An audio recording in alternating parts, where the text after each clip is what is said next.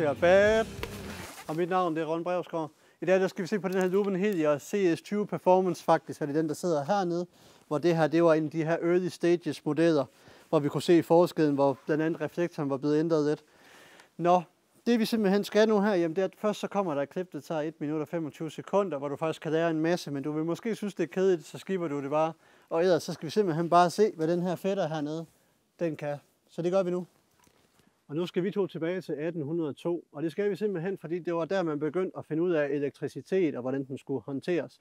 Der var altså ingen kraftværker, og der var heller ikke nogen stikdåser, hvor du lige kunne sætte din airfryer til, eller hvad du nu ellers havde. Men det man havde, jamen det var simpelthen rigtig gode batterier, som bare lige var upålidelige, men de virkede. Nå, men det var en 18-årig britte ved navn Humphrey Davis, som havde sådan et her batteri, og han fandt jo ud af under nedsmeltningsprocessen ved at sætte strøm til noget platin ned mod så kunne du generere hvidt lys, men datidens øh, batterier, jamen det gjorde jo simpelthen, at lyset det blev ikke særlig godt. Han gik jo selvfølgelig videre med hans eksperimenter og fandt jo så ud af forskellige typer metaller, der ligesom kunne skabe det her kraftige lys i form af nedsmeltningsprocessen. Og det gjorde så i 1806, han opdagede, via at have to stykker platin med luft imellem, altså carbon, jamen så kunne du simpelthen generere et kraftigt, kraftigt, kraftigt hvidt lys. Men på grund af de her batterier, der var dengang, jamen så kunne du simpelthen ikke udnytte det, så det blev ikke til så meget. Så derfor så spurgte vi tiden hen til 1840, hvor man havde generatorer og alt muligt andet. Der gik man så videre med det her, og fandt ud af, at lyset kunne blive så kraftigt, at det var alt for stærkt til at have i både øh, gadelamper og alt muligt andet. Så man havde simpelthen tårne, der kunne lyse ned på kæmpe store tårområder med det her kraftige lys. Og grunden til, at vi snakker om det her, jamen det er jo fordi, vi har CS20 Performance. Den kunne du også have brugt til at lyse et helt tog op, fordi den er pivhammerne stærk i outputtet. Huha, var det dig at være tilbage her i 2023. Nå, men vi skal simpelthen se på den her CS20 Performance. Den har vi her i kassen. Men det, der også er fedt, og som jeg egentlig er ret glad over, at vi får muligheden for, jamen det er, at vi kan simpelthen prøve at sammenligne med en tidligere sample af præcis samme LED-bar. Den her, den findes både som curved og som straight, altså en lige LED-bar. Øhm, så der er jo selvfølgelig lidt forskel, men ellers så er der noget, vi lige skal prøve at sammenligne med, fordi der er faktisk sket lidt fra dengang den her, den ligesom blev sendt til, til ekstra lys og i forhold til det endelige produkt. Og nu skal vi lige prøve at se på noget, jeg synes, der er rigtig spændende her. Det er at vi kan sammenligne den her tidligere udgave af netop den øverste her, hvis vi lige ser bortset fra den her straight og den her, den er curved.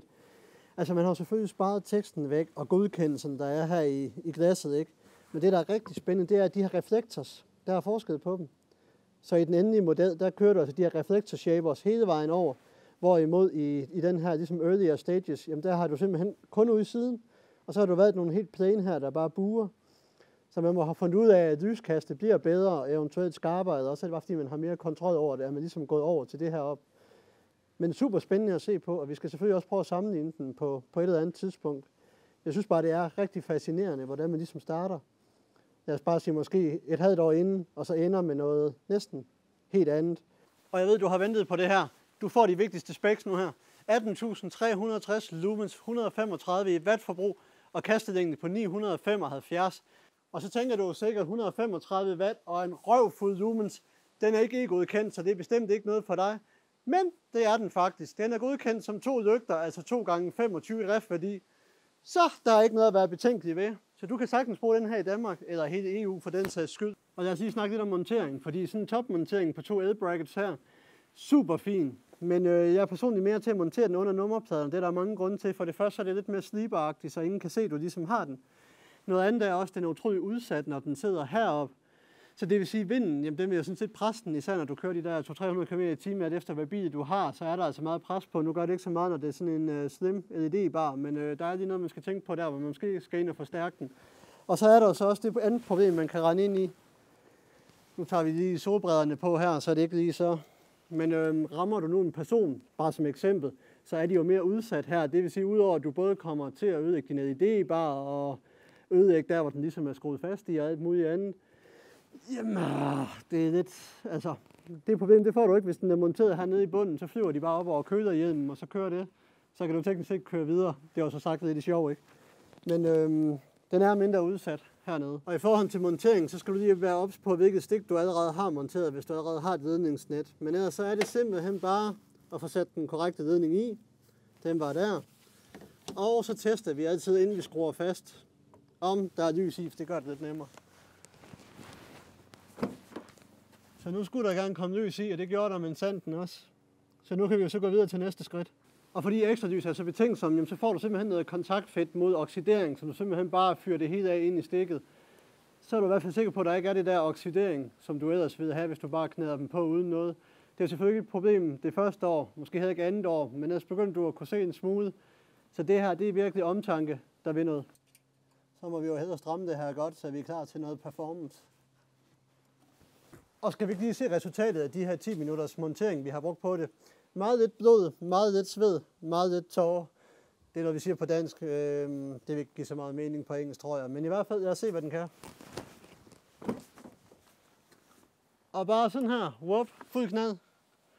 Og lad os lige slukke den igen. Det var der. Så, vi er klar. Og så vi skal til at betale for noget musik nu her. Shine bright like a diamond. Shine bright like a diamond. Shine bright like a diamond. Shine bright like a diamond. Og efter vi har fundet ud af, at jeg synger så lækkert, så tror jeg, at vi finder noget lidt mere øh, ordentlig musik at sætte på. Og så skulle det gerne blive mørkt her om lidt. Og så kører vi afsted. Så er vi kommet til den her 100 meter test. Helt præcis så er der 101 den her gang, og det er jo selvfølgelig fra frontenden af bilen hen til den bagerste trærække. Det her det er bilens indbyggede H4 Yellow Look plus 150 halogen. Ikke super spændende, men vi kan da se lidt. Det her er det indbyggede fjernlys. Altså vi kan se mere, men øh, går det stærkt, så vil jeg nødig være afhængig af kun at have det her lys. Og så vil jeg sige prøve den her Lumen Helios CS20 Performance. Altså, det her det er jo faktisk alt i en, fordi vi får godt med spredning. Vi har også okay højde på, selvom jeg har justeret det her til at være midt for, altså der i træerne. Ikke? Så altså, man kan sige, det, du får alt her. Øhm, det, der så også er værd at bemærke, det er, at der er heller ikke det der irriterende spot lige i front, øhm, altså her måske de første 50 meter, der gør, at du nærmest bliver natteblind, når du kører. Så alt i alt, så hele den der spredning, den er også med til at sørge for, at du ikke bliver natteblind. Det her, det er jo sådan indbygget H4 halogen plus 150 yellow look. Og her har vi fjernlyset. Igen, vi kan lige fornemme træerne. Det kan jeg i hvert fald med mine egne øjne. Forhåbentlig kan vi også lige fornemme det her på, på videoen. Og så går vi hen til den her Lumen Helios CS20 Performance. Altså igen, på afstand og også tæt på og alt muligt andet. Du kan nemt se, hvad der sker på kørebanen. Og igen, det jeg tit har problemer med, når du har sådan en her, der er combo, det vil sige både noget spredning og noget spot, det er tit så er der fokus på de første 50 meter, og så kan du godt gå hen og blive lidt nattig på den. Det her, det er bare det hele, ikke? Det vil sige, at du får god med godt belys ud i siderne, du får noget lys langt væk, du får også ind i centerbelysning. Heller ikke for skarpt og heller ikke for svagt. Så det vil sige, at du kan nemt lige meget, hvor hurtigt du kører, jamen så får du egentlig oplyst jævnt hele forløbet af den vej, hvor du ligesom kører. Så en lang lige landevej, jamen så vil du kunne se fornuftigt frem, også uden at du ligesom får det der irriterende genskin ind i øjnene fra, fra asfalten og alt muligt andet. Så det er i hvert fald godkendt det her. Lækkert, lækkert, lækkert.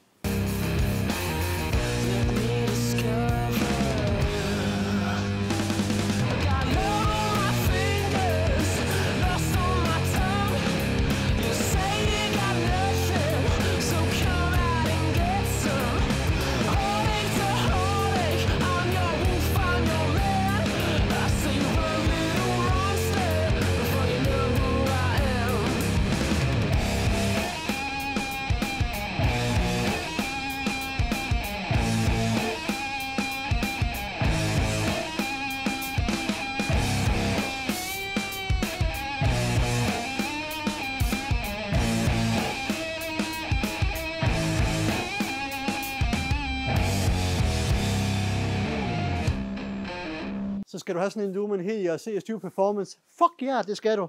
Du skal ikke tænke på noget, du skal ikke famle med et eller andet underligt mønster, du skal blinke med eller noget som helst. Det er bare performance med det samme. Ikke udkendt, så du kører bare uden at tænke over det. Og skal jeg komme med noget negativt, og det skal vi jo helst, fordi jeg har lovet mig selv at komme med en negativ ting, lige meget hvilken LED-lamp det er, skråstrej bare, jamen så er det, jeg kunne faktisk godt tænke mig, at der var en option, om ikke andet så at sætte et, øh, et gult øh, cover over, eller at du kunne simpelthen få den med gul LED's, fordi hver eneste gang du kører et eller andet over, som ikke er lavet fra fabrikken, så mister du lidt lumen output. Og det er simpelthen kun fordi, jeg har monteret den så lav her, så den faktisk også ville være perfekt, hvis det var toget. Men igen, det er jo igen mig, der har et underligt behov, så det øh, kan være fuldstændig lige meget. Men det er den eneste finger, jeg har set, det var, at jeg godt lige kunne lide den ene lille ting, lavet fra Factory, så vi fik max lumen på, hvis det var det, jeg gerne ville have, også på det gule. Så, men i hvert fald, det her, det er ja, hammerlækkert.